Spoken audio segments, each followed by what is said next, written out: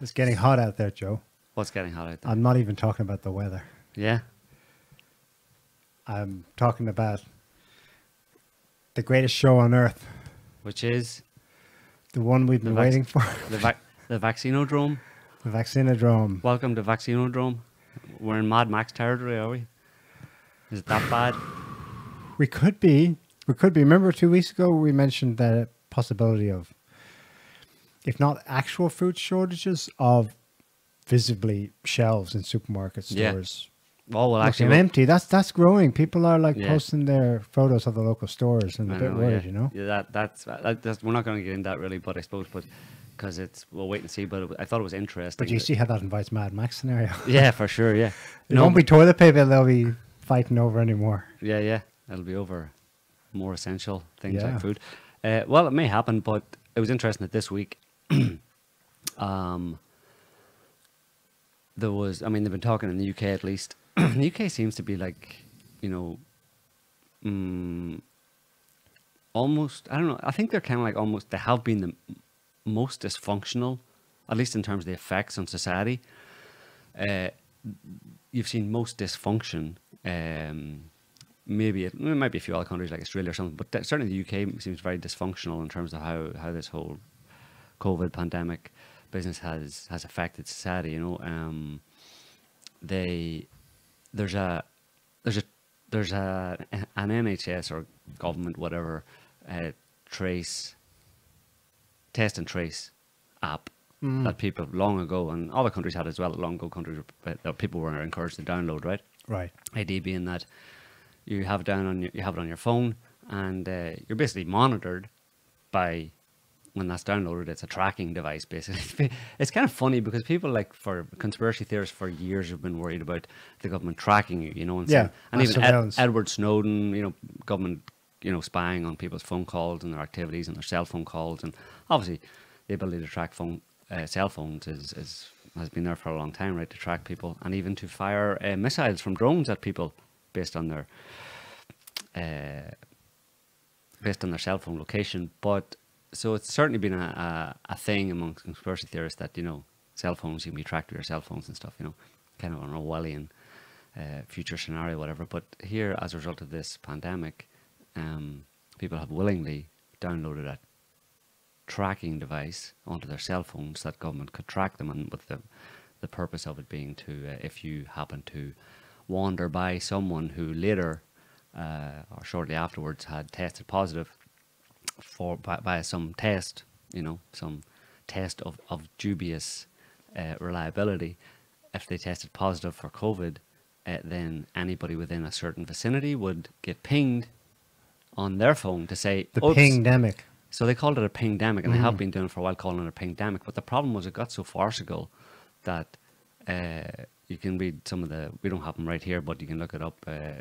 uh, various major UK supermarket chains in, in certain places were apologising to their customers for empty shelves because their suppliers were not able to supply uh, basic foodstuffs to the supermarkets because of the pandemic, i.e., a lot of the suppliers' employees were having to stay at home because they were pinged and told that they happened to walk by someone when they were out in the in the, in the town or the city um, the day before. Uh, and they walk by someone who later test that day tested positive or something, um, and they have to they those people who get pinged and told that they walked past someone who tested positive, or were in the same store as someone who tested positive, they have to go and self self isolate or stay at home for ten days. So ten Right. days off work, uh, and this was having happening so much that, I mean, that's just one sample of the of the of the population, obviously, who work in the in, in the supply uh, chains for for for supermarkets, Yeah. for food, food food supply chains for supermarkets, but they were having problems with staff because they were all staying at home because they were being pinged on their phones. So you imagine you have to I have another example of, of a relative who's in the hospitality sector in the UK. And up till this point, employers uh, like hers were very much enforcing on behalf of the government. They didn't want to lose either um, important contracts to themselves or the secondarily, they didn't want to lose the basically the backup funding they were getting from the state during the lockdowns to keep them afloat, the companies. Well, this employer told his staff to quietly just remove this app from your phone because they're all getting pinged, Right. and uh, because one person tested positive, the ten people who are listed and it's connected via the app Yeah. as having shared a shift with them Right. three anytime within the last X number of days Mhm. must all stay at home according to the app. Right. And too many people, and people are smart. Oh, they're starting to get apply some of their smarts to this, and they're going, hmm. Well, I could just ignore this, or I could take advantage of it, still get paid to stay at home. Right. So people, It's the farce of. It's that an element of it where people are basically taking advantage of taking advantage of it to get free days off work. Yeah, and this was causing uh, uh, problems, and that, and the result was the same with the with the suppliers in the supermarkets. The result was the same that um, the government, I think, announced that uh, anybody who gets pinged and works in food supply for supermarkets does not have to self isolate at home for ten days. Uh, probably a lot of people were disappointed uh, Right. that, that that that happened because they don't get 10 days 10 days paid leave. Um, but yeah, it's, it's completely farcical. I mean, you have to imagine the situation where you're simply walking down. You work in that industry, and you're walking down the high street. You go into a shoe store, look at some shoes, walk back out, and go home. Later that day, your phone pings and says you have to stay at home for 10 days because one other shopper at the time, in the same shop as you. right? Hap- later, that person decided to go home and do a lateral flow test, and a notoriously unreliable lateral flow test. These are the ones we were talking about last week, Yeah. where they can be made positive by putting fruit juice on it. Uh, young kids in school had figured out that if you put this uh, fruit juice on, on, on a lateral flow test, you get two days off school. So that's how reliable it was. And that's the same test that the health minister, we talked about that last week as well, the UK health minister, he's just come out of isolation. He did a lateral flow test, a really dodgy, known, unreliable uh, lateral flow test for COVID and decided that it, and came up with it. It's kind of like a pregnancy test and it shows you a little blue line. Even a faint blue line means you're positive. He had to stay at home uh, supposedly for 10 days. And then because Boris Johnson and the finance minister also had been having a uh, uh, hanging out with him at some point, they decided they had to go and uh, stay at home as well. So they have the kind of a whole government basically, potentially, uh, out of action basically on the on the basis of of, of a dodgy test. Yeah. It's it's like it's hard not to see it as uh, for as, as a bit of a farce. I mean, it's Yeah. but lot before now it's become quite farcical, but certainly stuff like this it's just turning into a it's just nonsense. Like to the point that even Boris Johnson, the prime minister, when he when he when the suggestion was that he should isolate because he got he got pinged, he was like, "Nah, come on, real- I don't have no. We'll, we'll do something else." Like, and and there was outcry from I don't know the media report. There's an outcry, and the rules have to apply to him too. So off you go, home ten days. But then There's no outcry really. no, I, I have a good idea who it is in the UK. You know, the SAGE, Yeah. which is a formal government advisory body. Mhm. There's another group called iSage, which stands for Independent Sage. These people are the ones pushing is for zero COVID in the UK, Mhm. and they have been throughout. Um, this is a side note, so I won't go on too long. But it was discovered this week by Kit Klarenberg. He's the guy who writes for the Guardian. That one of its um, someone on its advisory board is Christopher Steele right. this entire time someone who's been coming at the government from stage left to pressure them to do more. Boris isn't doing enough. He's Right. he's he's nowhere near. Look at all his failures. Look, at, he's not doing enough. Someone on that side, separate NGO public trust, well, some private trust rather funding. One of them is Chris Steele, and he's the notorious guy at the heart of he yeah. Yeah, he's the dodgy dossier guy. He's the guy who commissioned, commissioned the Donald Trump uh, getting peed on by hookers in a Russian hotel room. Golden Uh, Gate. Go, yeah, Golden Shower Gate. Golden Shower Gate, whatever. Uh, yeah, that, so that guy is kind of has an influence over what the uh, British citizens are are not doing in terms of uh, the pandemic, right? Okay, that's fine. That's that's totally legit. That sounds to- totally legit to me. He there should be more people like him. I mean, it fits anyway for me with uh, his history. Certainly lends and lends itself to uh, his expertise lends itself to uh, this particular situation. Yeah. I think. Yeah, but Scotty, throw up the picture. I just want to put so vaccination. Well, before we go, yeah, yeah put up the, the Canadian thing. We'll just show it there. Uh, there's a picture from I saw this. Toronto Airport, Canada, um, and it's It's real. It's real, yeah, and it's been it, there. We can read there's news articles about this being uh, implemented in on the orders of the Canadian version of the NTSB, with the, the the Transport Authority in in the, Fran- in the Canadian government, um, putting up these signs in major airports in Canada. And there you go. Um, English, French, Chinese. Um, the ostensible reason is With that the caveat that we don't even know what a fully vaccinated passenger is anymore. uh, well, you have to show. Well, you have to show your your vaccination uh, As pas- passport. as we're going to talk about later, what it is to be fully vaccinated is changing. Yeah, exactly. Yeah, uh, yeah. But um, this is the first time we've seen anywhere really in the world that, at least in the Western world, uh, physical. Um, I suppose a physical display of official government sanctioned segregation based on vaccination status. Uh, the ostensible reasons for doing this, or the explanation why they're doing this, is that there's different requirements for air travel for people who are vaccinated and unvaccinated, which itself is kind of like you know part of the problem. But uh, so that you segregate these two people in two lines. It's not that one. It's like the people on the right there. They don't go into a, a meat grinder. Like just we'll make that clear. They're not going into any uh, camps or, or or or with showers or anything like that. They're they're getting on the plane as well. I think if they if they qualify. Um, it's just that they, they're streamlining the two processes because there's different. I suppose the people on the right have to produce more uh, justification for their air travel, whereas the people on the left just have to show their vaccination status. So even with that explanation, it's obviously still it's a concrete display of this, you know, of the segregation of people along vaccination status lines i- in order to uh, avail themselves of what was formerly uh, a very basic civil liberty, i.e., to be able to travel. Yep. Um, but And it's Not anymore. discrimination based on something the our governments will say is justified, but it, whatever. In the end, it is a discriminatory process based on whatever standards you set, Mhm. and uh, the term people have used for medical apartheid is yeah, absolutely valid. sure. Yeah. South Africa is segregated on So- the basis of color. Yeah. and you here Yeah. you So um, I mean, this is kind of it's not slow. I was going to say it's a slow creep of slowly creeping into into a kind of apartheid like totalitarian type situation, but it's been very quick. Uh, yeah. And usually they talk about a slow creep into kind of totalitarianism that uh, people really need to pay attention to and, and, and wake up at each stage.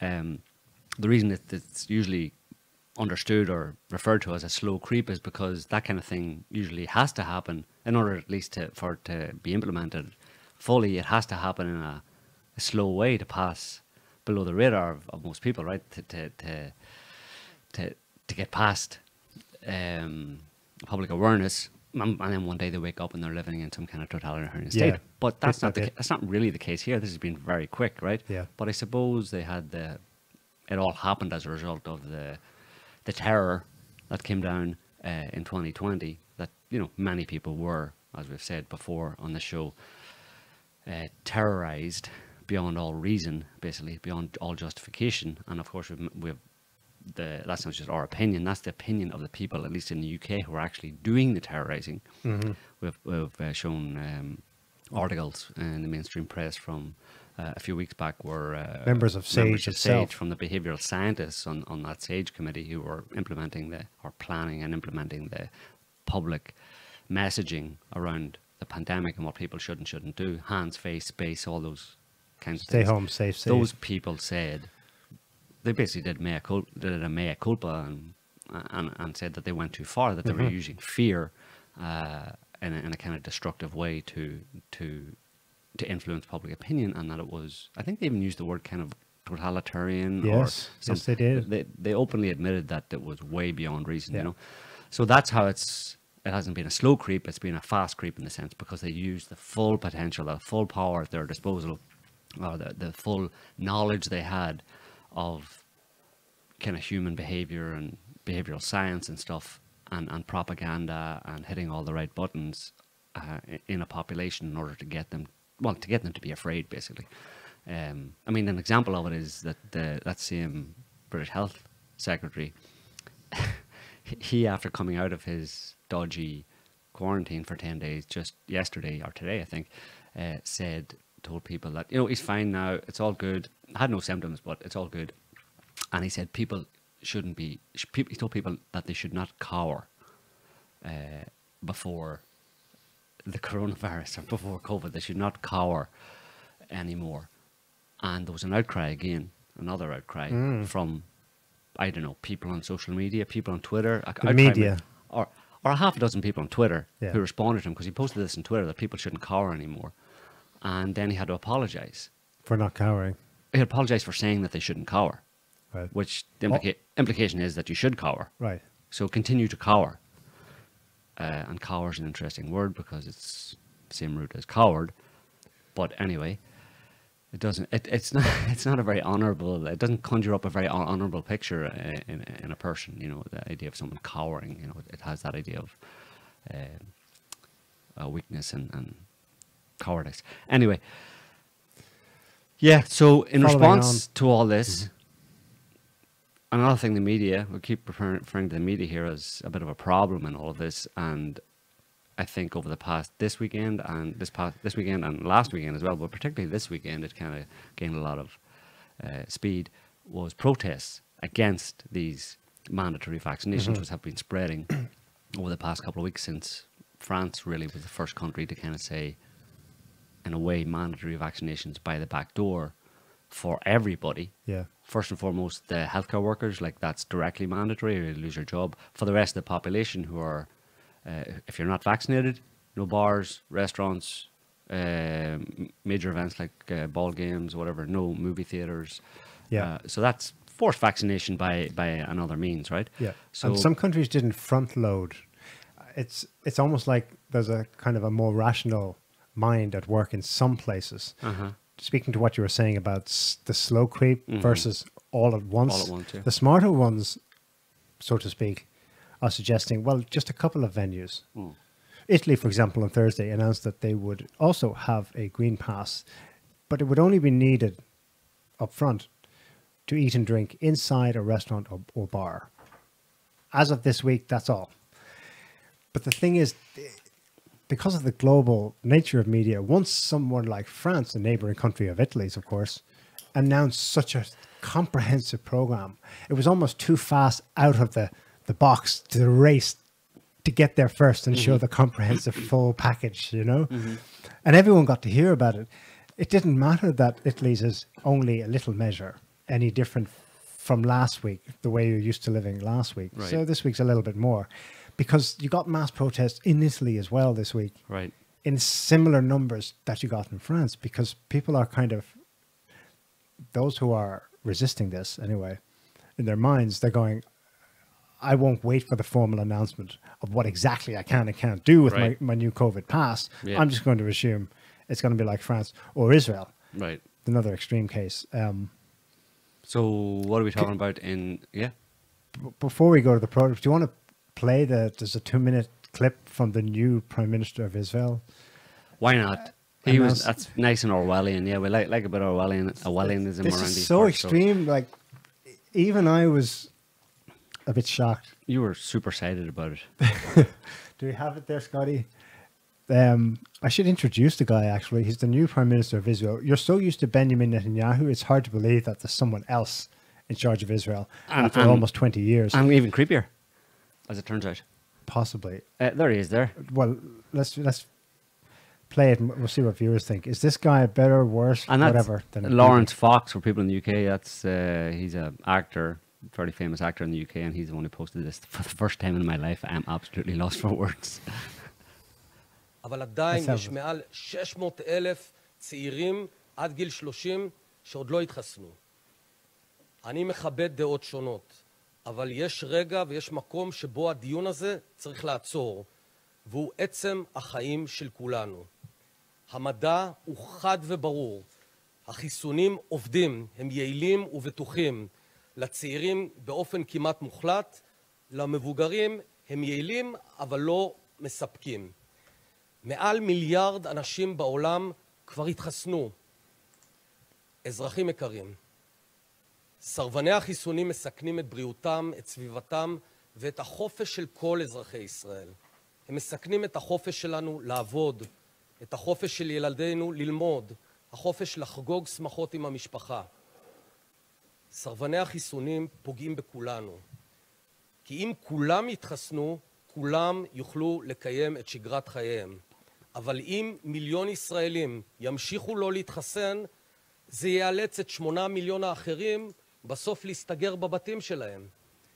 לכן הקבינט קיבל היום החלטה שהחל מהשמונה באוגוסט סרבן חיסון לא יוכל להיכנס לקולנוע, לתיאטרון, לבית הכנסת, ללונה פארק, למשחק כדורגל או לכל פעילות מעל 100 איש, בפנים או בחוץ, אלא אם הוא יביא בדיקת קורונה שלילית על חשבונו. כן, הוא יישא במלוא עלות הבדיקה. אין שום סיבה שמשלמי המיסים ואנשים שכן מקיימים את חובתם האזרחית להתחסן יממנו בדיקות למי שמסרב להתחסן. בתחום הטיסות, המחוסנים יוכלו לטוס למדינות הנקיות ולחזור, ולאחר קבלת תוצאות בדיקת הקורונה בישראל, הם יהיו פטורים מבידוד. אך לעומתם, מי שמסרבים להתחסן ייכנסו לבידוד של שבוע מכל מדינה שיחזרו ממנה. הפעולות הללו יסייעו לבלום את התחלואה. אני פונה מכאן לכל מי שמכיר סרבן חיסון. שכנעו אותו, תסבירו לו, שלא יפגע באחרים, תשכנעו אותה, תסבירו לה, אל תוותרו. I'm sorry for anyone who couldn't watch that and is listening instead because he, there were English subtitles up to his speech, but it's basically like haranguing. There's only a million people out of 9 million in Israel who have not gotten the vaccine, Right. and that's not good enough. He announced the same, basically, in two minutes there, we heard from him exactly the same program Macron announced in some more detail Yeah. 10 days ago. He- his justification was, he, he, you notice he doesn't, that's just a statement of mandating vaccine, vac, vac, vaccines uh, for the entire population. Again, Yeah. kind of by the back door by restricting their freedoms and, and threatening them essentially with not being able to enjoy life in the way they had yeah. before. But there was basically never, there was at no point, almost except for a tiny part was, uh, of a few words, was, at no point did he explain why this was happening. And this is the thing: people are listening to all of this mandating vaccine, vac, this or these orders of effective man, uh, mandating of vaccines for an entire population. And when they do that, rarely, if ever, do you hear an explanation why they're doing that, why it's necessary, what's the problem, why are you doing this, why you. Is, is it just assumed? Are people just assuming that there's a reason and that everybody knows what the reason is? The only thing he said there was that you have to stop hurting people. Stop Yes. hurting people but he, and get vaccinated. That's it. That's the explanation. That if you don't get vaccinated, the reason he said all of that is because otherwise, if you're not vaccinated, you're hurting people. Yes, and we to specify that if you, the remaining 1 million of the 9 million, do not get vaccinated, you're going to co- force, I, I have nothing to do with it, you're, you're going to naturally somehow force the other 8 million to remain locked in their homes. Yeah. He threatened lockdown on the whole country until everyone Everyone's else. Therefore, turning the majority against that minority who are not. Well, that's the clear. that's the cause. very- that's as far yeah. as they'll go with explaining a why. Yeah, well, so there is no ex- explanation, although There is no and- scientific, separate from government lockdown policy. There is Right. no reason why. but and the, there's a good reason why they don't explain it because the science is certainly is not on their side, at least not in the way that they would like they, they would like you to think it is. That that people who are unvaccinated are somehow a danger to people who are vaccinated, or that, that they're continuing the pandemic, or something along those lines. I mean, you know, we'll get we'll look at a little bit of the science behind that. Um, but yeah, that's and uh, there's a clear in that it's really hard to avoid drawing the conclusion that the motivation, not just from him but from any other government that is mandating vac- vaccines in this way, that they that they're trying to weaponize one section of the population, the vaccinated, against the other. They're trying to to, to turn society. Uh, one part of society against the other, one part of the population against the other, based on vaccine status. It's ridiculous. I mean, it's and people should be out in the streets. That's why they are, I suspect. It's the single most insidious thing To about this, not the fact of the vaccines. Those who are unvaccinated, it, your worst fear isn't the vaccine. It's it's the insidious nature of using. And what and what could happen to society if they push through with Yeah. this? They're gonna. I mean, do you think it's which is worse? You know, obviously we've talked about the the actual relative dangers of of this virus to you know anyone in the population. The vast majority of the population are not in any danger from it, uh, and you compare that to the danger or what could happen in society, the dangers that would present themselves in society if this kind of a draconian or totalitarian government policy of turning populations against each other, turning, turning people in society against each other. The results of that, The for, precedent. for anybody with any sense, The will understand that it far outweighs any yeah. danger from, from a virus. Go to the blaze there, Scotty, that, that, that, that I just sent you, and there's you have to you have to go down to the bottom of the. Uh, yeah, you don't want. You, we can stop text center. No, so scroll down. I think you have to read more at the bottom. Anyway, this is uh, MSNBC. Just click on read more, and then go down to the bottom. There's a video. Uh, should I just send you the link to the video. Actually, oh, her Brzezinski's daughter. that's yeah, Brzezinski's daughter, and she leads. A, she's leading a, a panel of uh, people who are discussing about look what they're look look what they're talking about the case for vaccine mandates. This is in America, so this isn't a European thing or in any other part of the world. This is also, or just a European thing. This is an American thing. This is fully, fully uh, front and center in terms of the, the discourse, at least among most of the media and, and government. Jen Psaki, for example, is a proponent of it as well, of mandated or vaccine mandates in the US as well. But just play it there, Scotty, and um, I'm sorry I haven't jumped directly to the point where I wanted to go. I mean, it's a, there's a whole screen. These Okay, folks are choosing yeah. a horrible lifestyle of self inflicted pain. My God, that's straight talk there from Alabama's Republican Governor Kay Ivey about the unvaccinated creating a pandemic within themselves. Let's Yeah. bring in Pulitzer Prize winning columnist. Pause it there for a second. Creating a pandemic within themselves. Like your own personal pandemic. It's like your own personal earthquake. Well, you know what I mean? ironically, if you remember what the sage behavioral experts said, um, the one success of this entire thing has been a pandemic of psychology. Right, In a sense, this is purely a pandemic of the mind inside your head. Yeah, and it's the whole message there: is stop killing yourselves. Get vaccinated. Would you stop killing yourself and just get? I mean, how stupid are people when they just they, they won't even they won't even protect their own lives? These people are ridiculous. Uh, jump forward. See that guy on the right with the glasses. Go forward from that point that where you are right right there. Uh, can you scroll forward? Yeah. He, bl- he blabs on there a bit, but he's later on. Just scroll through until you get a couple other people. They jump in, and then go back to when you see him pop up again. Play it there. That's just more talking heads saying more of the same bullshit. Basically, all. I think it's after this girl actually. That he, okay, just play him there. Another element of protection, of course, are masks. We've reported this week that there have been some discussions between the White House and the CDC about reinstituting mask mandates. They're not there yet, but they're not ruling More it out masks. down the road. We're seeing some jurisdictions like Los Angeles County already bring them back. How do you see this play out if, and let's hope it doesn't get there, but if in the weeks ahead there is a consensus that whether it's from the federally mandated or whether it's just a lot of local governments saying masks have to come back, how does that play? I mean, we've seen a rise of masks a little bit. There's a return in places like Washington, New York. But whether it's places where there's a lot of vaccine hesitancy or even places where people are vaccinated, there was such a sense of this summer of being relieved, of, of, of not having to wear masks anymore. How will this play? Is this a political firestorm waiting if masks are asked to come back? I don't think it's a. So I, I think the fact and the, point that you just touched on is that we've been there before. So I think it was a lot harder the first time around to because we're you know we're creating new behavior versus returning to kind of behavior that we've already been through.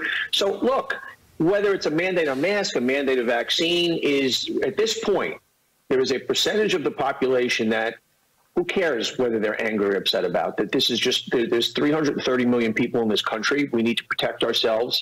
And as and as, as willie and alicia mentioned look there's there's been mandates on throughout time. I grew up having to get a smallpox vaccine. We all did. Other vaccines also. So I, i'm done worrying about what people think. I'm done worrying about is there going to be a firestorm? Whether it's a mandated mask whether it's a mandated vaccine there's an idiot percentage of this population that just needs to be told what to do. And guess what? You don't have a choice. To There's 88% of this population who He did not get a smallpox ne- vaccine. need. I know. Those ended in the 1930s. He's Yeah. full of shit. There's an idiot population, idiot percent of this population, or an idiot, yeah, percent of this population who just need to be told what to do, and guess what? You don't have a choice. Um, these are adults, you know.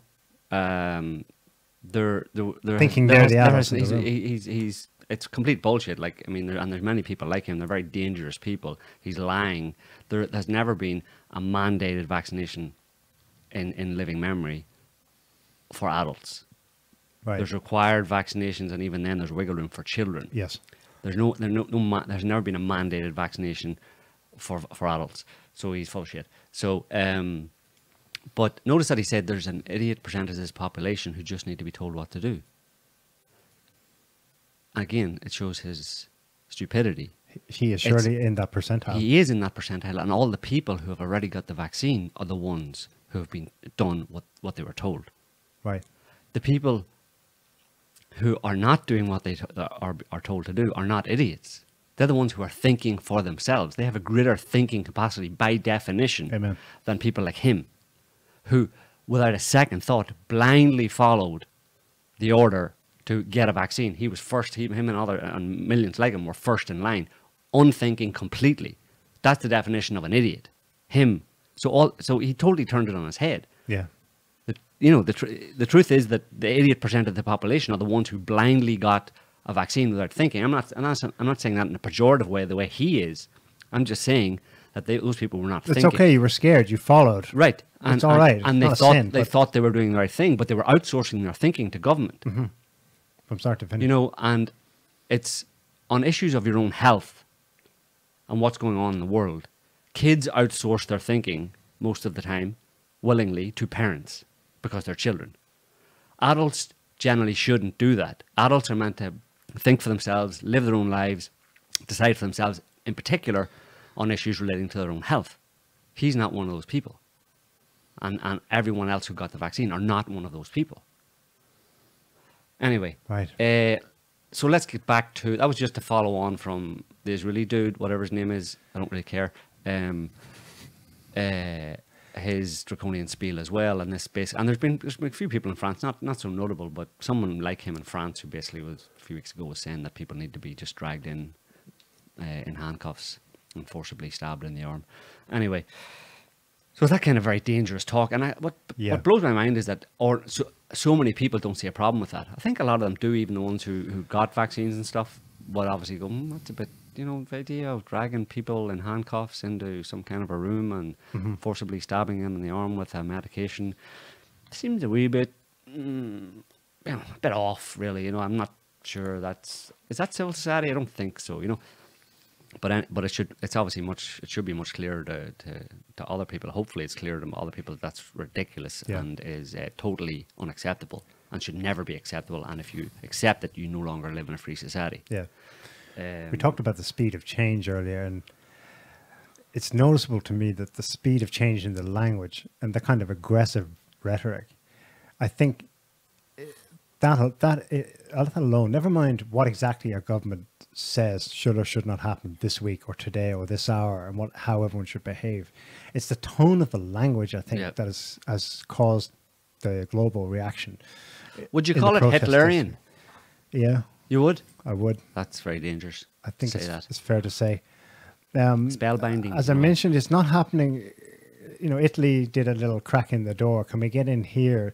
Denmark, another government, um, they actually mandated a, the COVID pass back in April, but minus any, you must get this jab, just to get the pass accepted Yeah, first. So the, the governments are doing it smarter or stupider Yeah, in, yeah, yeah. in how they're hitting people. But it's the tone.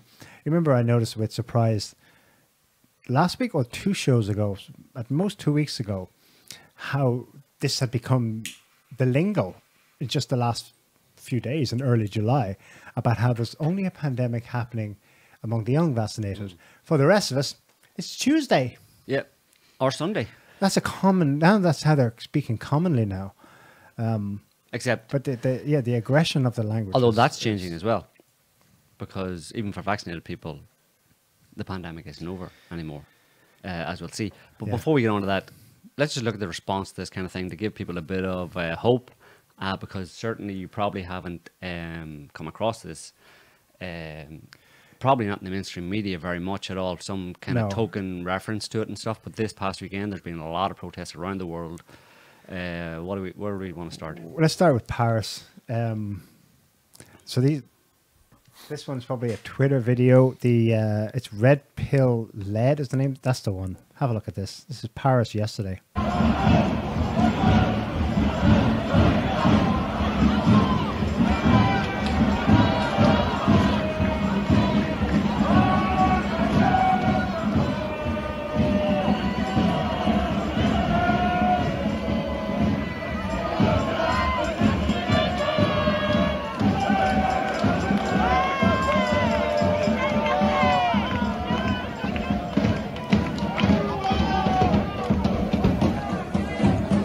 Okay, next one. Um, French media, by the way, reported it as eh, several thousand people. That was one protest at one venue. There were multiple protests in Paris alone yesterday. This is Dublin yesterday. Media reported as several hundred far right fascists. That's scumbag media, like. There were black, white, children, Yeah, grandparents. fascist children. everyone. Fascist children. And Right wing fascist children. Uh, there was one MP or Little TD MP uh, who said, he, honestly, he's anti-lockdown, but he said, honestly, I would say between 12 and 20,000 people. Probably the- one of the largest protests in Dublin in, in decades. So have a look here. Look at them fascists. Look at that man in his cap. Fascist cap. No, oh, look, the Sieg Heil. Look at that. The Sieg Heil and those two. Look awful. Isn't that clapping? Mm, no, I don't know. The, the hand was raised above Is a that a Nazi level. salute? Okay. Well, there's a Nazi salute there, yeah, for sure. That woman there, definite Nazi. Look at those Nazi glasses. Is that a Nazi flag? Mm, I think so. Yeah, it I looked a bit it looks swastika-like definitely looks a bit nationalist to me. There's another Nazi flag. Look at all those Nazi flags. Nazi as a nationalist, which is obviously if you're a nationalist, you're Nazi. I don't think it's this video, but I saw one, and the woman walks by, and Oh look, that's a oh that's a local Nazi flag right there. Freedom. What are those people? Is that isn't that a Nazi chant? Freedom. for, yeah, I, I'm pretty sure it's Hitler was all definitely a dog whistle of, of the far right. Hitler was all about the freedom. Like Oh, here it is. Ha- have a read of this this banner here. you can stick your poison vaccine up your arse. You can stick your poison vaccine up your arse. That's terrible. Only Nazi would say that. Chrysler. That guy's got a Chrysler T-shirt on him. Jesus Christ. wasn't wasn't Chrysler? Isn't that? Didn't they have dealings with the Nazis back in the forties? Anyway, um, Okay, next one. I don't know if I can take any more Nazis news. Milan yesterday. Ah, gee, Italy. Majestic. But Majestic. Mussolini. How many Mussolinis are there? None of them. Should there be one of them, a little Mussolini?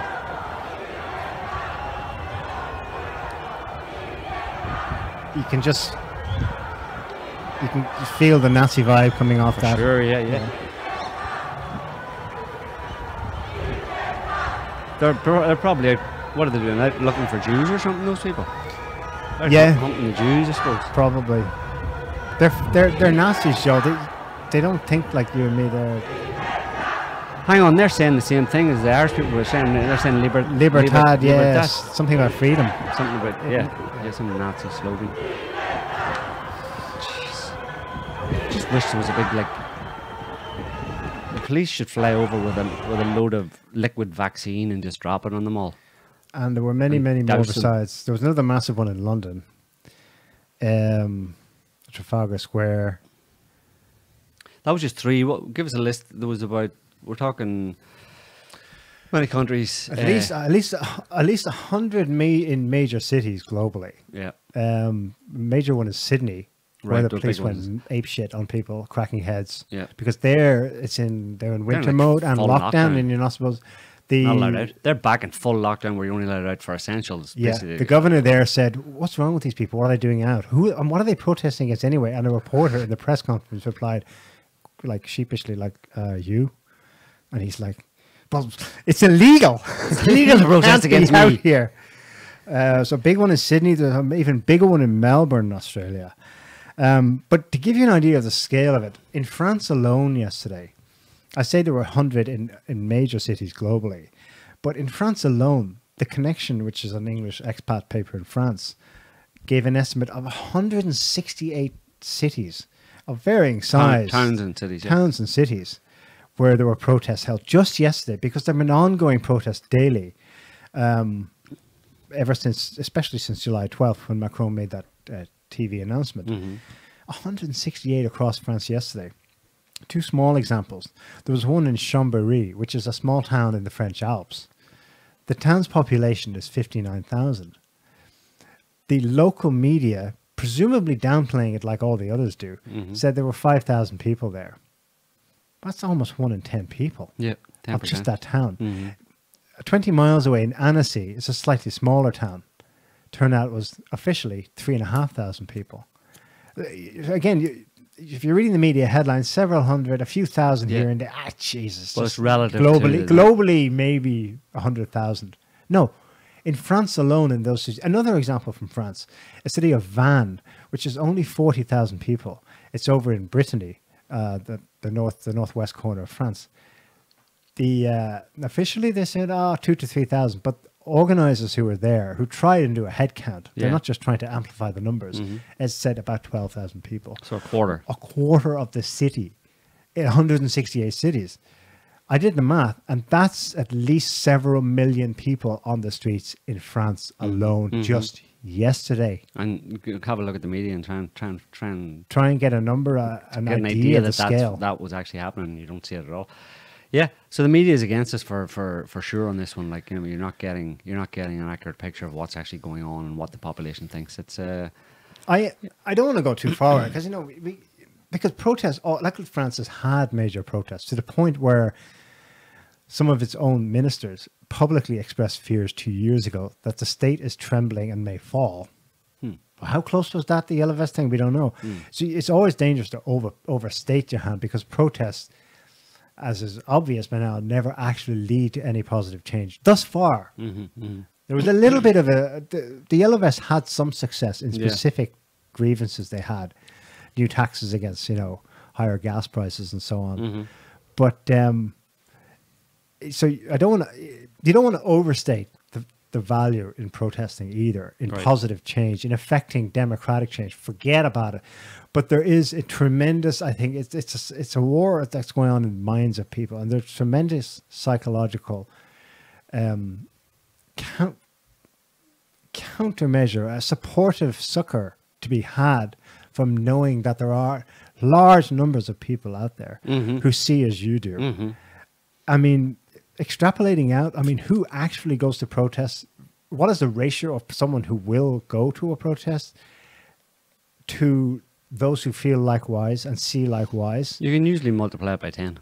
by 10 okay so you've gone from 7 million people protesting in france to something in the order of tens of millions in a country of 60 million 65, yeah. and you're approaching half the Half the population, population, yeah. are Yeah, of like mind with you and the media is one of its core psychological effects even if it's not a conscious function on his part a core psychological factor is the sense that you're isolated and alone and that's why you go, oh Jesus, okay, here I'll pay more tax, I'll get the job, Uh-huh. whatever. I'll sign on the line, just leave me the hell alone. Well, if you don't know that so many people around you think likewise, you're more likely Yeah. to feel the psychological. Which is why never mind do anything about the situation. Which is the re- the media, governments, and the media know that, and that's the reason why they play it down because they Yeah. don't want to give that kind of support and succor to uh, people in a country who who they're trying to get to do something. Yeah. they don't want to encourage them to, to not do what they want them what they want them to do. Um, but obviously, it's not right because you know people should have info- should, people should be informed and, uh, and be able to make as informed decisions as they can. But again, like we said in previous shows, there does seem to be a, a big split in the population between people who are able to take that responsibility of you know informing themselves and making their own decisions about their own health, and other people who just aren't able or willing to do that and are entirely, largely dependent on government to basically tell them what to do, and they will automatically just do what government does. Now, that's a, like we, as we said in previous shows, that's a big problem in any society. I mean, in good times and relatively easy times, it's not a problem. Though two different types of people, one more mature than the other, can you know, Cohabitate. cohabitate and in, interact perfectly fine and find common ground and all that kind of stuff and talk about any, any anything on on the same level. But when it comes to something like this, we have brought in a we have terrorized the population population with a fear of their own death. You're really separating, in a certain sense, the wheat from the chaff. People who will have a really strong knee-jerk emotional response to that and be terrified by it and just ask for government to come and solve the problem, and they'll do whatever government says. And other people are saying, "Hang on a minute," you know, they have a have a functioning bullshit meter. I should, I, I suppose you could say, and and that when they see government kind of sounding the alarm bells over something and they quickly identify some kind of a possible agenda, then they're immediately sus- suspicious of it and don't take it too seriously, and so they're not as terrifiable or terrorizable as as those other people. But yeah, as we've been saying, it can lead to a division within society where the government basically weaponizes one section of the population against the other. And that's really bad for the people because these government people, government officials and stuff, they'll just disappear and you know they can just retreat after they've done their their dirty work and leave leave the people uh, who who uh, leave the people to clean up the mess basically or to try and you know put their society back together. You know. Yeah, Uh, it's complete recklessness, really, and uh, to, towards the to, population. to fact check the official slash media line that the pandemic now only remains in the unvaccinated. In fact, it's the complete opposite. The pandemic is not occupying, it's not living as rent free in the heads of these people as Mm-hmm. it is in those who are following blindly. That's, that's what we should talk about now those who remain in the pandemic. Um, what the hell is going on with the Rona and with vaccines? Yep, One place I want to leap off from this maybe is to look at Israel. Israel because we played the Israeli uh, new Israeli Prime Minister's statement, where for him it's just black and white. The pandemic only remains in this few. Everything else is hunky dory with the rest of us. But also last week was announced that um, Israel is suing Pfizer because of an explosion in cases of coronavirus, COVID 19, the illness rather, not just positive test cases, in the fully vaccinated. Um, Scotty, do we have the RT article on this? I think the headline is something like the CDC and the recommends vaccine booster. For, yeah, this is it. So this is from two days ago. CDC pitches COVID boosters for immunocompromised after Israel's suit. Israel's suit against who? As Pfizer jab loses efficacy against Delta infections. Okay, let's look at this, some of this. You remember at the beginning of this, Pfizer's selling point was, oh, 90 to 95% efficacy against SARS-CoV-2.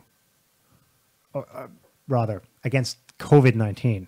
You won't get sick, almost guarantee it, if you get this vaccine. This week, that's plummeted to 39%. Was that the case all along? Probably.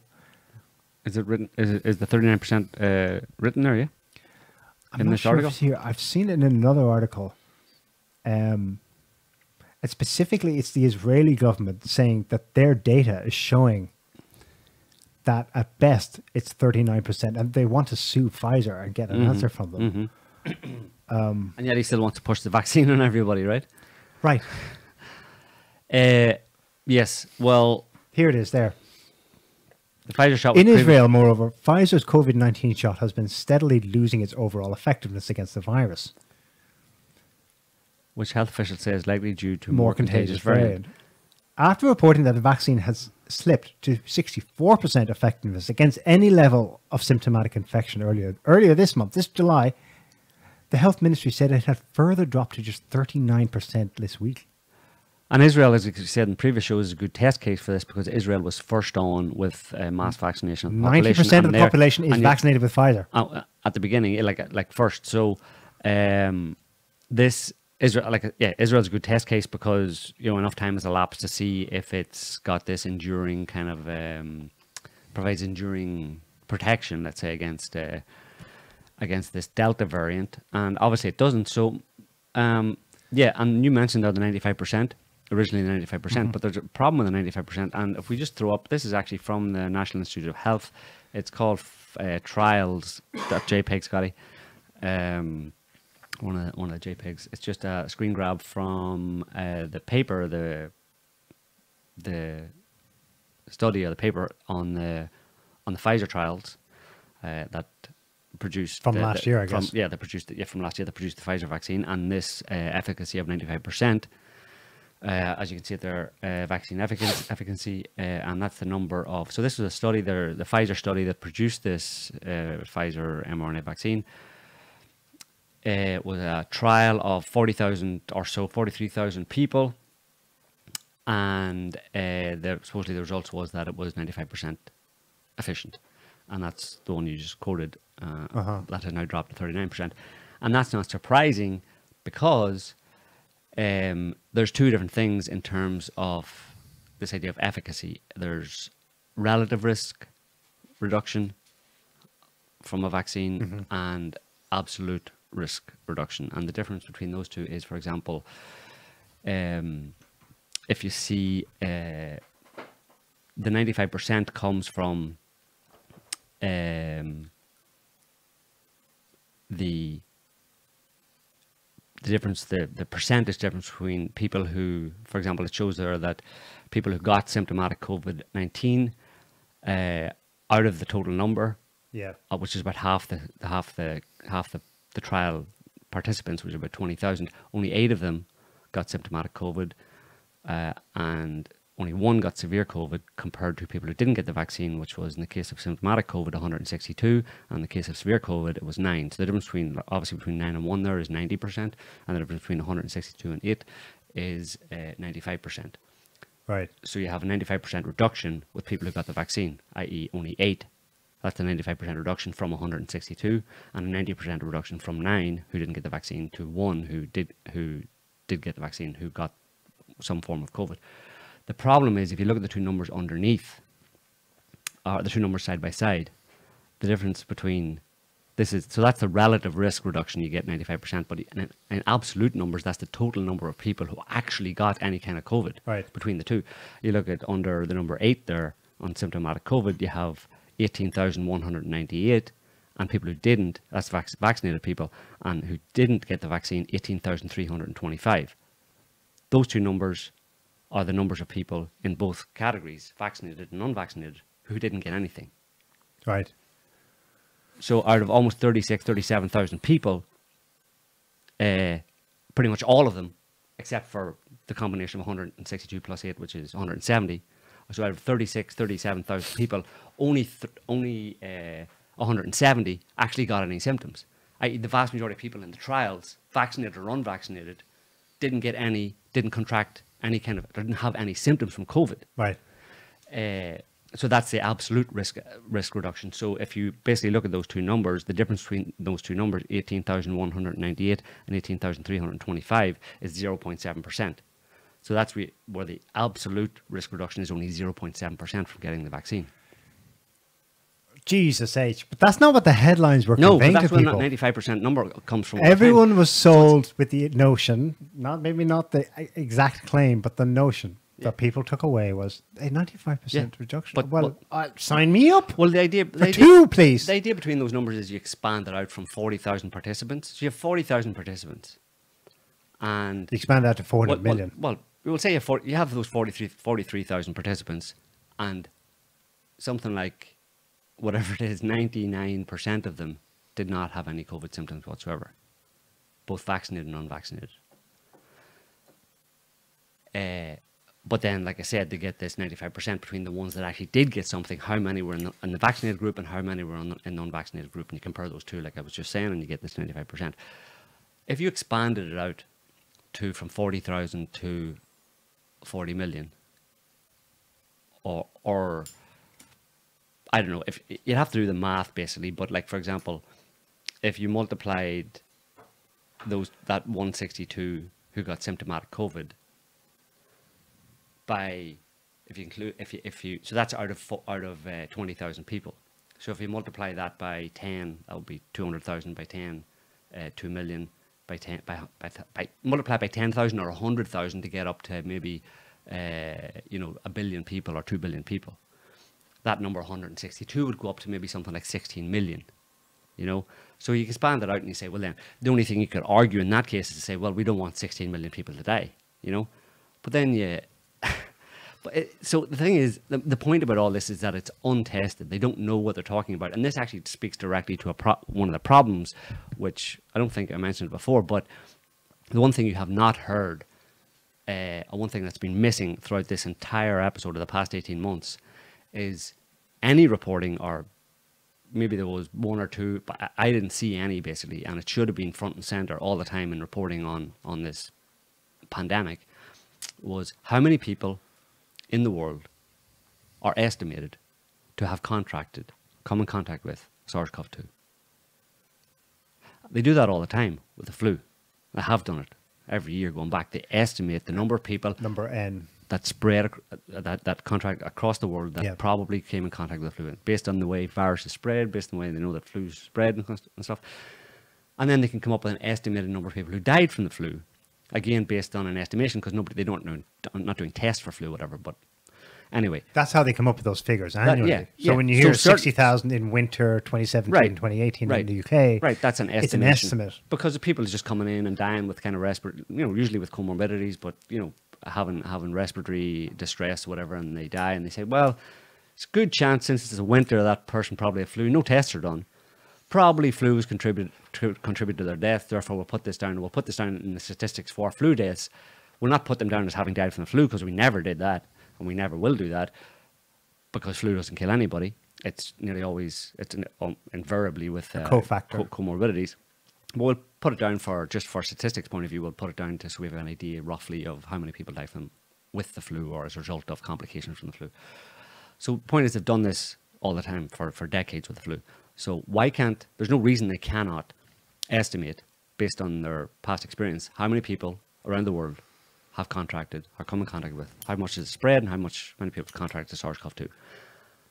What would the estimations be? I mean, when you look at the flu, they say like uh, they, they talk about figures like a billion, two billion people this flu season. So if you put a billion or two billion people or even more, depending on how you, you assessed it, uh, but certainly in the billions of people who came have come in contact, contact with this flu over the past two years, remember, because it was around in late summer 2019. So right now, we're at the point where it's been at least around for two years. How far has the virus spread around the world in two years?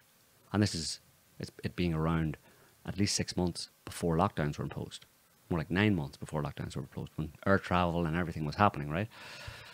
how many people have contracted it, and then just look at the numbers, the official numbers, and we'll even take their official numbers. We won't quibble over over with COVID or by COVID. Mm-hmm. We'll just take their official numbers of people who have died from COVID. And what is it now? Four Well, million or something place it in its proper context, some- which is the baseline of some- contact with the virus. Right, four million people or something like that. Give me four million as a percentage of four billion. That's- It's about zero point one. Right. Which places it smack in the same range as seasonal respiratory virus illnesses. Yeah, pretty much. I mean, I, that's I'm saying that's just an estimate. I'm not saying that's the case. I'm saying Right. wh- why have they not done those estimates in order to calm people down and give them a realistic understanding of just how deadly this supposed deadly pandemic actually is, and that has been missing, conspicuously absent from media reporting on this for the past 18 months, and I don't know why they haven't done that. Although I have a good idea. But anyway, um, That's the media for you. It's it's never they, they can always get away with saying, "Well, hang on, factually, we said everything right there," but the lie by omission, lies by omission, are incorrect or lacking context, right. And it can always sneak your way out of that. Yeah, yeah. You know, you, you can get a, a Snopes report to say, "Well, actually, no, we did a detailed analysis of exactly the claims that were made, and we find it mostly true or mostly false," mm-hmm, mm-hmm. But that's just bias. because mm-hmm. they'll leave out context. yeah, but it's bias, and they've got they've got an agenda clearly, and everybody has an agenda. It's not like some kind of nefarious thing. Everybody's got their agenda, which is their perspective on things, how they see the world, and they're going to push their own perspective. And governments have their own perspective, and for most people, their most ordinary people, their perspective is just what they've learned and what they believe and what the, the information that they've, they've absorbed. But it's reasonable to suggest that at the higher levels of government, it's not just what they believe and they're pushing what they believe like ordinary people do, but rather very often there is an actual agenda in the sense of a you know less than wholesome agenda. I mean, one thing would be I don't know. I mean, really, can you discount it? Like if you look at the graph, we don't have it right now, but if you look at the graph for Moderna, for example, their share price going back five or ten years, pretty much flat line. I mean, it's at a certain price, but it's pretty much stable and then 2020 comes along and it's boom, it's like 10 times, 10 times the price. Right there's a financial uh, motivation. Are we one. going to? Who's going to put their hand up and say there's absolutely no way that a financial motivation for pushing vaccines on people is has to be discounted? That it cannot play any part in the pushing of vaccines at all. How naive do you have to be? How long do you have to have not lived in this world to be able to to to, to you know discount the idea that money doesn't matter Right. to people, and especially people in positions of power. Um, of course, it matters to everybody, but you know.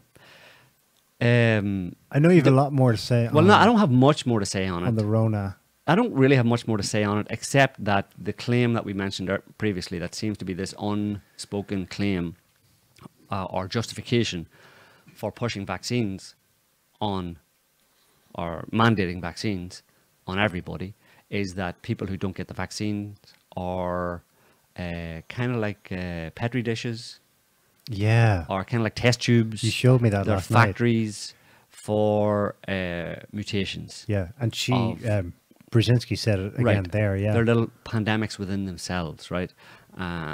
Basically, the claim is the idea is, and it's unspoken, and you don't hear people saying it like that. The Israeli uh, prime minister, he just said you're hurting people Mm-hmm. by not getting vaccinated. But he didn't explain how you're hurting people, or what the science or, or the, logic is behind the idea that people who are not vaccinated are hurting the vaccinated.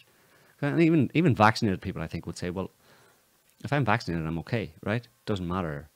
I'm vaccin- I'm, I'm, I'm immune from I'm- I'm protected against the virus, right? From the virus floating around or from it in other people or whatever. Mm-hmm. But yeah, so it's not said. It's just it's a meme almost that that has spread, and I've watched it spread over the past couple of weeks, a few weeks, whatever.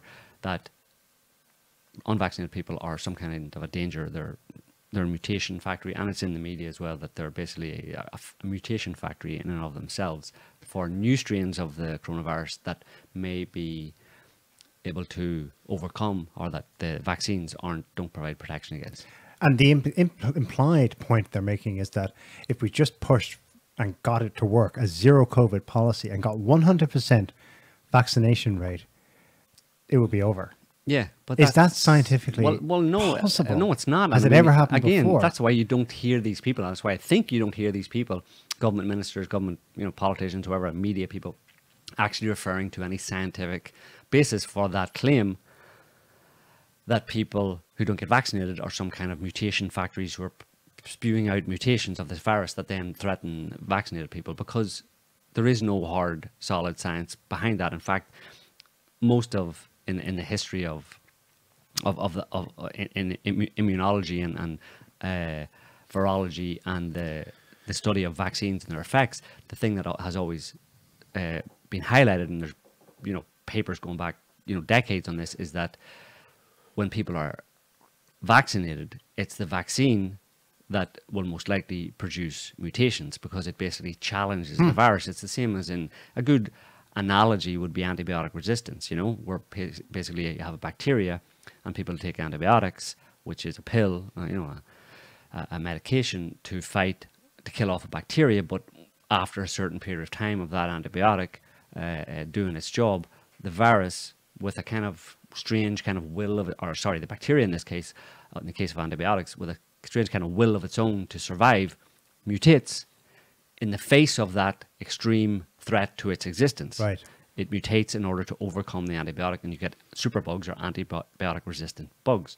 The same concept, in, in, in broad terms, applies to vaccines, where vaccines challenge and threaten uh, a virus, and eventually a virus will, because because the vaccine, you know, provokes a very strong, and often too strong, immune response to kill off the virus, that the virus eventually, after a certain period of time, may well mutate into a new strain that the that the vaccine is useless against, and that is a known phenomenon. It's called um, Vaccine escape.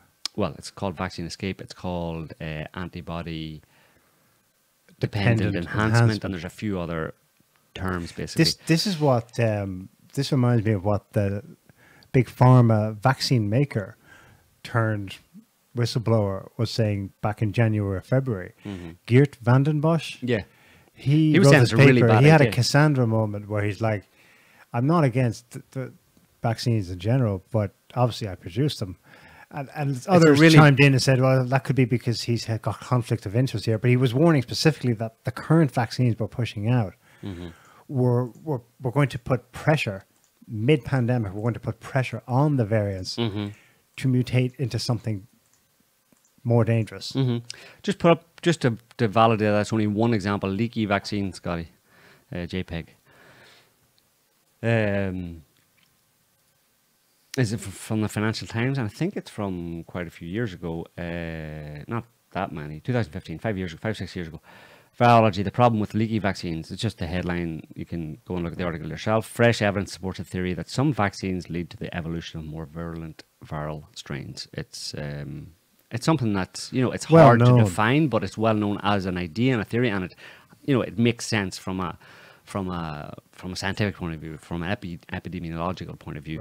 Uh, the I mean the British government even the SAGE meeting minutes from July seventh, I think, even referenced this that um, that in, in mass vaccination you run the risk of producing variants from the vaccination.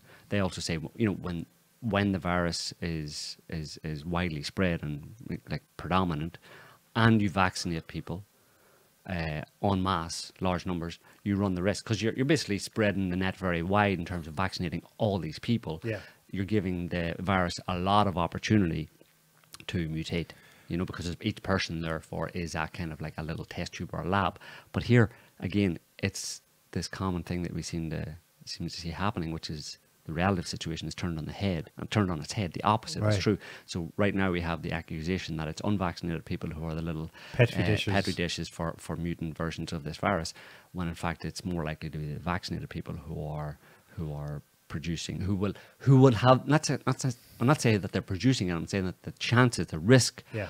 of a super virus uh, like a superbug, uh, a, a vaccine resistant strain of this virus is more likely to produ- be produced as a result of the vaccination program rather than people just coming in contact with it. Uh, So a worst case scenario isn't just that the people who've gotten the vaccine so far were wasting their time and risking their own personal health. They may be but it, they may have actually rather than rather than stamped out the virus from their lives, they may have actually locked it in to all of our lives. or prolonging the, the yeah prolonging the pandemic basically. They're prolonging it by, by by this mad push for vaccination. And i think that's part of the reason why they want especially the vaccine makers themselves in in in, in league with government are pushing for uh, the mass vaccination of everybody because if everybody gets vaccinated then you can muddy the waters on any new strain that pops out but if you have a section, a good section of the population who are unvaccinated, and a new strain pops out amongst the vaccine, the vaccine, the vaccinated people, Yeah. then that's going to, it's not only going to show that their vaccines aren't working like the Israelis are saying, but that in fact their vaccines have actually produced a, a more virulent strain of that of that virus, and that in fact it would have been far better for no one to have been vaccinated in the first place. Now they don't want that to happen at all, at all costs, and the best thing they can do right now is to make sure that there are no unvaccinated people in the population. So if and when a new strain comes out, they can muddy the waters and say, well, it came from this or that or the other. But if it comes out within the vaccinated population, it's going to be very hard not to draw the conclusion, and there'll be studies done to see that it actually happened as a result of vaccine escape or vaccine. Uh, what's it called? Vaccine.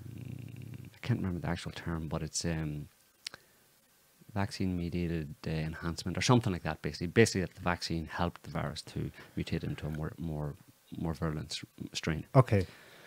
W- with this in mind, I want to listen to. This is a regular daily update given by a government uh, spokesman for the New South Wales government in Australia. Can we play this video, Scotty? This is him two days ago, giving matter of factly the latest on COVID cases in New South Wales. We want to listen to the end, especially because I had to do a double take. We've had anecdotal evidence that fully vaxxed nursing homes are seeing outbreaks. Um, so far, the anecdotes are usually brushed off. Well, it's because there remain a few out there who don't, you know, and they're the petri dishes of these problems. But this spokesman gives some details like that. It, it, it, anecdotally, anyway, he's saying that COVID is. Go ahead and play it. Do you, do you have it, Scotty? First. Oh yeah, here he is. Okay.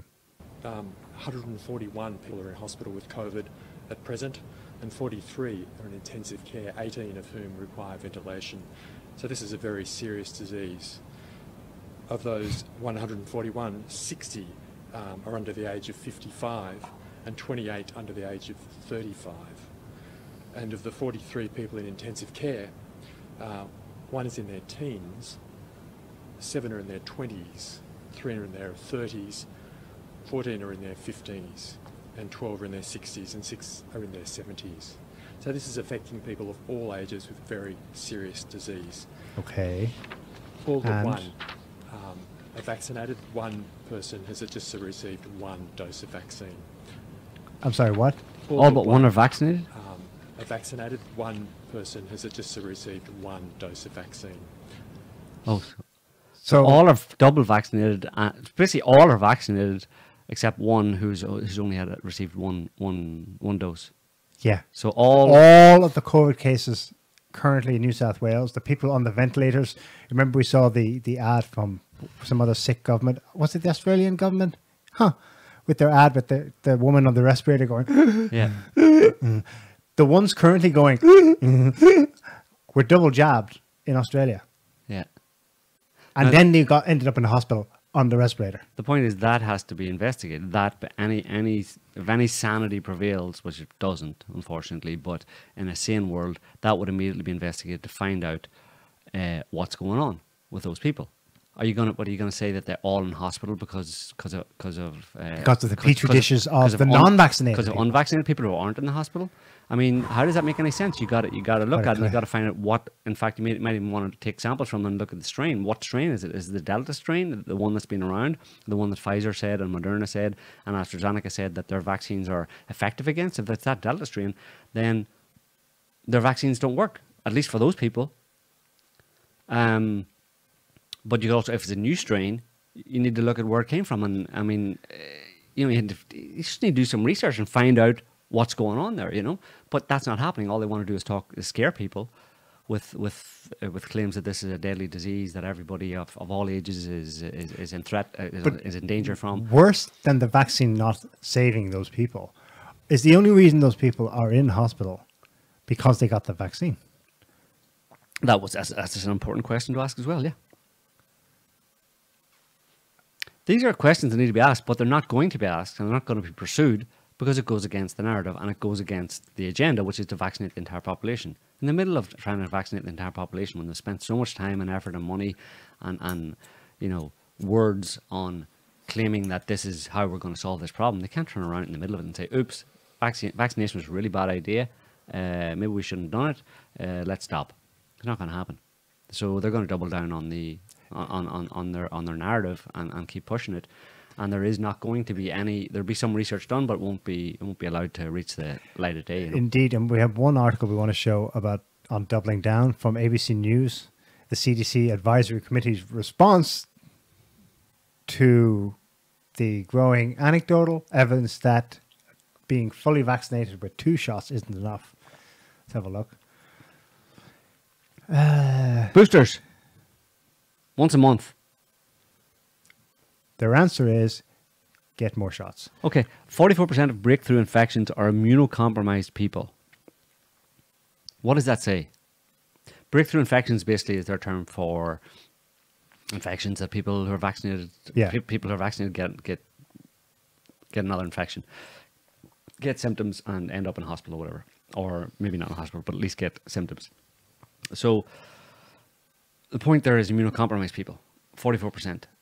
The other uh, there's another 54%, I suppose, who are not immunocompromised, but who knows? I don't know what's going on with them. But it speaks to the fact that a big part of this entire problem, or the big, a big, a big part of the, the the reality, the truth behind this entire pandemic, is that the vast majority of people, as we've said before, who are who provided the statistics for for you know the pictures of people in hospitals or the statistics of the number of people in hospital and people sick and stuff it was among immunocompromised people. Um, but it's interesting now that it's only 44% that means let's assume it's it's true that 50% 54% are not immunocompromised. Again that gets back to the problem is the problem of the possibility that some kind of new and more more virulent strain of the virus has appeared that is maybe uh, posing a threat to people who are not in that category that the previous strain was a threat to, i.e., immunocompromised people. Now there are more people who are in danger from uh, a new strain um, that are in, in relatively good health, but that that new strain may well have come about as a result of this mass vaccination campaign, campaign right in the middle of a pandemic, which several people who are in a position to know have said is a really bad idea because of the possibility of yeah vaccine escape slash uh, antibody dependent enhancement. Still, Of viruses. the bigger context remains that It's all very complicated. It's we're very only- complicated, we're only given a, a brief, basic overview of this. But the stuff that we're talking about is true. I mean, it, it goes into a lot more detail. And the truth of the matter is, is that even people, virologists and immunologists, aren't sure Yeah. about how that whole uh, breakthrough uh, infections and how the the whole very very complex system inside your body works with viruses and your immune system and all that kind of stuff. And especially when you've got immunocompromised people, where viruses can opportunistic viruses can take you know, take advantage of a person's compromised immune system, uh, and, and and you know, even infect immune cells. And, How does and- the and- injected- soup themselves up and all that kind of stuff? How that how does the virus interact with retroviruses, which make up 60%, 6, 6% or something of our genome? they're basically playing with fire and they don't really know what they're talking about. And as we've said in previous shows, these vaccines have not received FDA approval.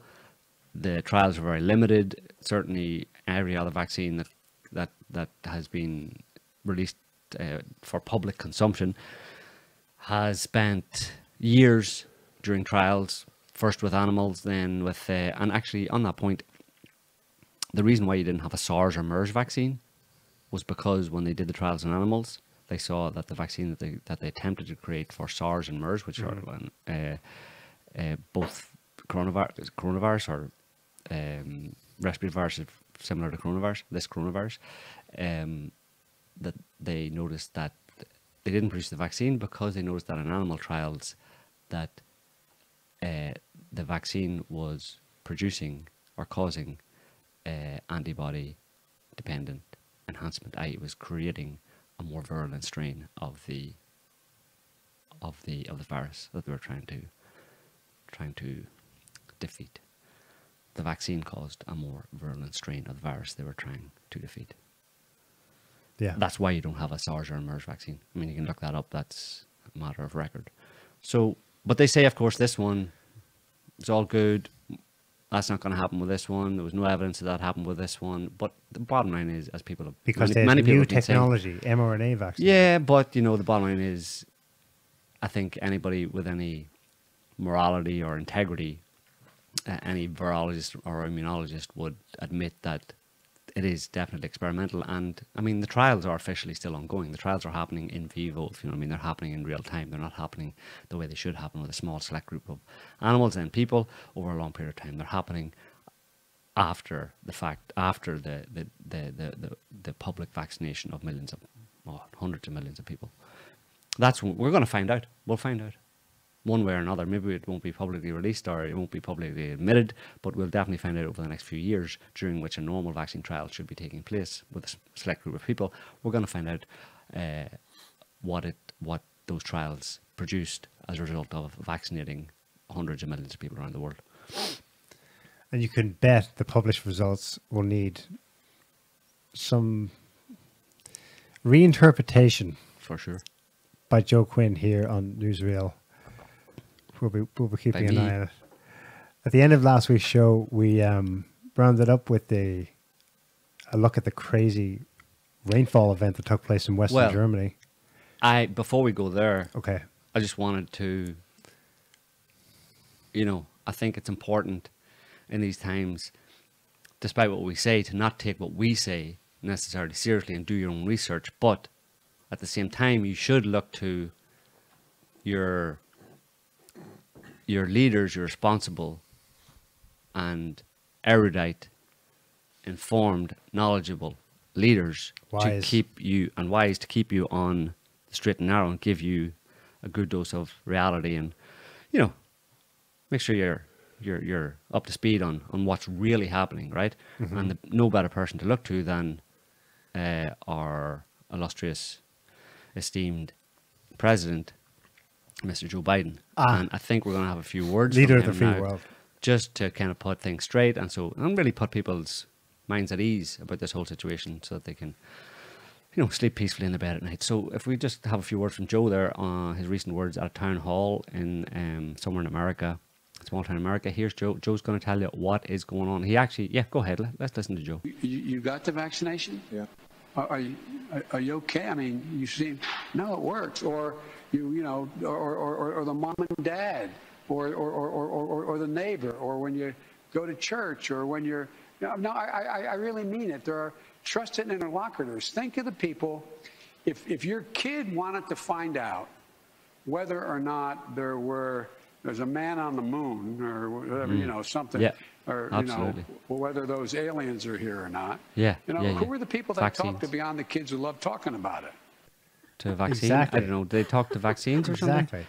Um, right on, Joe. And if you talk to your interlo- inter interlocutors and your mom and pop, and, and if like who who the kids want to talk to about the aliens, you know, I mean, um, you, know, you got the vaccine. Uh, are you okay? I mean, so I mean, no, no, no, no, no, no, really. I mean, if if you if you want to know about the mom and pop or the aliens, just talk to your vaccine. I mean, yeah.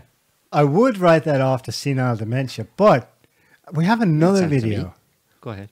This is Joe, like, asked, that's Joe in the town hall. Mm. After the event, he was accosted by another reporter, probably one not on his side, so to speak, of the other political persuasion, who tried to catch him out with a question. Mm. And his response was totally different. Um, can we play this one, Scotty? Have a listen here. This is the same night. Are there people in the Democratic Party, who want to be Are there people in the Republican Party who think we're sucking the blood out of kids? I, I, I'm, I'm not sure. Are there people in the Democratic Party who want to... Mr. President, speak up. Not. So Now, when the there's mo- multiple levels of looking at this. First of all, that's completely inappropriate for the president of the United States to say. But the other one is that is an amazingly sharp comeback yeah, yeah, yeah. On the moment, spur of the moment, Wow, you know. bam, in the mouth. Sucking the blood out of kids is I.e., he's referring to the you know yeah. the other side's QAnon thing that we're Mm. all like pedophiles and stuff. And it's what a retort. Yeah. No prep, bam. Yeah, he obviously didn't like that accusation. He, he doesn't mind about the vac- when he's asked about the vaccines, but don't ask him about defunding the police or or uh, which of course Democratic Party were explicitly For sure, endorsing yeah. To get him elected. And now that he's elected, oh what? us. No, It's a conspiracy theory. sucking the blood out of kids, not us. Just think your mom and pop and the aliens and the, and, and the vaccine and, and, and, and interlocutors and, and, and, alien, aliens. Yeah. Did you get the vaccine? Are you okay? Yeah. All right. It's Yeah. not. It's good. No. It's not. It didn't, Yeah. it didn't kill you. No. Eh, a bit of my soul maybe, but that's Okay, okay. all Who needs that? Anyway, uh, just checking. Uh, yeah. So, um, meanwhile, Okay, want to round the, up with a in the wild weather news desk. weather news over the weather desk. Yeah, well, we looked at the one in Germany because last week because it was just wow, um, the worst national disaster that country has seen at least since Second World War. Second World War. Um, and yeah, so it's been happening in, in other countries uh, in more recent days. First video. This is this is from China. Let's have a look at this. This is um, Henan province in northern China. Um, actually, it says it's Inner Mongolia. Anyway, it was a swathe of northern China. Um, the city of Zeng, I think it's Zhenghu. I don't know how to pronounce it exactly. Yeah, turn it down a bit. This region got an entire year's worth of rain in 48 hours. That's one of two major dams giving bye way. bye. There's a lot of water coming out there. It's a lot of water. Imagine its entire annual rainfall in 48 hours. It's not a dry region or anything. You don't wanna be down- gets rainfall in, you know, You don't want to be downstream of that. Uh, surprisingly, I'm only hearing like something in the region of 50, 60 dead. Maybe they saw it coming and they evacuated or something. Or they could be covering it up. It's the Chinese, right? They never tell us. the Chicoms. truth. Um, You. What else we got? that's, That's China. Mongolia. Inner Um, Mongolia. same time frame, three days ago. Uh, Eastern India, Mumbai. I, it is either Mumbai or a neighboring city. There were a couple of cities that got slammed with just ungodly amounts of rainfall in a day. Cars washing down the street. So this is going to become an increasingly familiar sight everywhere. Um, I don't have any numbers to hand on what kind of volumes. Obviously, India gets you know monsoon season, and in a sense, it's not so unusual this time of year, but it's still a lot of rain even for them. Okay, finally, northern Turkey. This is twenty second. Three days ago, in Af- Artvin, Artvin, that is uh, almost on the coast of the Black Sea in northern Turkey. Now, uh, again, I don't have the figures to hand, but the city next door, roughly in the same northeast corner of Turkey, had the same scenes trucks and cars floating down the street in a separate rainfall incident last week. Oh. Crazy. People better get get prepped for sure. Well, what are you suggesting? They get rubber dinghies? Yeah, yeah. Raincoats, boots, and um, learn how to build a dam. Learn how to fix a dam. Look at that. Wow. Yeah, definitely that kind of that kind of stuff. Far more frequent. It's happening. It's building up. Um, of course, that's not the only problem that's facing people. There's all sorts of other uh, environmental issues going on. Possible earthquakes, volcanoes, tornadoes, tsunamis. Um, yeah, you got to keep your eyes on the on the sky and on the ground around you, and you know, stay alert. You know, um, But people can't realistically plan around these things because you never know where the localized no, but factors come together. I know, and yeah, bam. but you know, just a little bit of preparation, at least in your own head. You know what I mean? Being aware of it, not just being sleepy, like you know what I mean, like Sleepy Joe there. Yeah. Um, what about um, what about any, what was going on in our chat room as we were uh, chatting? Was there much Uh, much there, commentary, or there was uh, an interesting translation of something that French President Macron said today. oh yeah, Uh, they definitely are doubling down on their narrative, and so quickly. Do you remember Lobaczewski's paramoralisms? Check what President Macaroon said today with a straight face. Eh, this is a translation, so. Uh, if tomorrow you infect your father, your mother, or myself, I am a victim of your freedom when you had the possibility of having something to protect you and me. And in the name of your freedom, you may go be having a serious form of the virus and you will arrive at this hospital. It is all these personnel who will have to take care of you and perhaps give up taking someone else. That's hmm. not freedom, it's called irresponsibility, mm-hmm. egoism. If you love freedom, if you love your freedom, and if you respect others, the only thing you can do is get it up. vaccinated. is give it up. When science provides weapons, they must be used. Ah, like the atomic bomb. I guess. the implication there being those people, the non-vax, the resistors, the idiots, as the CNN Mm. anchor claimed, that the idiot percentage of the population. The implication being that they're costing us materially, if nothing else, like to our healthcare. It's like what they were saying before about well, obese people and smokers. They're all costing us money, and Mm. Yeah, couldn't yeah. we just do away with them? Well, the same similar thing from. Um, the Israeli prime minister, he was ranting about the costs Mhm. to everyone else from these people. Mm, Hang on a second. How much has anyone done a calculation on how much governments have forked over to Pfizer, Moderna, AstraZeneca, Mhm. etc. Well, just look at the share price. for these free vaccines, right? You could just Mm-hmm. go to your pharmacy, put your arm out. It didn't cost anything. yeah, it except just, it just rained down from the sky. It didn't Yeah. cost us anything. Except no, it cost you, the tax dollars. taxpayer, Infrastructure in hundreds of billions. Yep. That could have been put to schools, infrastructure, healthcare, Education campaigns. education, maybe even proper uh, medication. Uh, Ivermectin, hydroxychloroquine. you said bad words. Too Bad bad. words. Very- Sorry, very they're bad banned. word, no, they're bad. bad Don't word. don't take those. Anyway, uh, yeah, I think uh, we'll probably leave it there for this week. Um, we've said all we're all we're allowed to say, and um, We've reached our censorship limit. yeah, yeah, we're gonna get Any cut off. more, We're going to frig, a hammer will come down, and that'll be the end of it. But um, yeah, I ju- yeah, so just want to thank the our listeners, our viewers, well, not listeners, viewers, and our chatters, and don't forget to subscribe and to like and thanks for commenting. And as a final word, I just want to say that um, just remember that if your interlocutors and ask your mom and pop about the aliens, just just just get a vaccine, okay? See you later. Okay. Bye. Thanks for listening. Bye. Can't stop the signal now.